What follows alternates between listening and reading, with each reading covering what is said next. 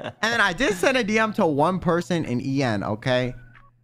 Oh, Being yeah. like, oh yeah, you really inspire me, da da da. I'm not gonna say who it is because I don't think they know and I want them to see this clip because they never responded to it, so I deleted before they saw it. And then they and then I DM'd them some other Oh. shit. And then like they responded to that. So I was like, okay. No, that's so sad. You should you should resend the message. No, Come on. no. So Luca DM'd me like when I added him as a friend, right? Like the wave emoji, okay? Mm-hmm.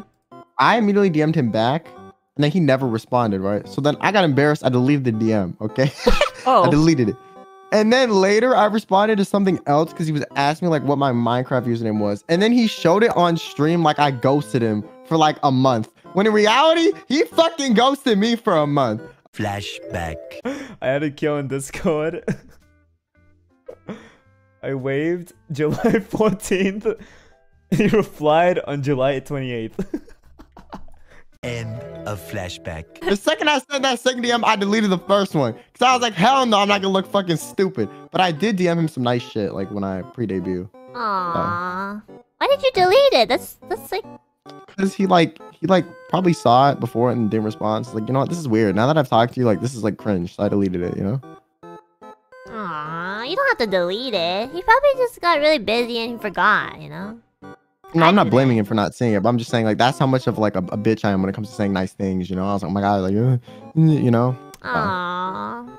It says, Luca, I really appreciate your content and you always liven up collabs. That's really nice.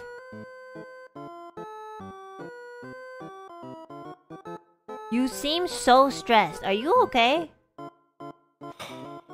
No. A few moments later. You prefer the first one. Bro, Luca just DM'd me LOL to my fucking message, bitch.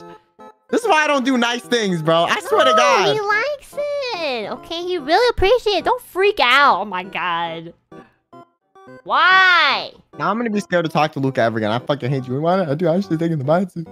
What do you mean? He's he's really nice, Kyo. Also, he probably just like said LOL because like he's also really shy and awkward. Okay, like don't worry about it.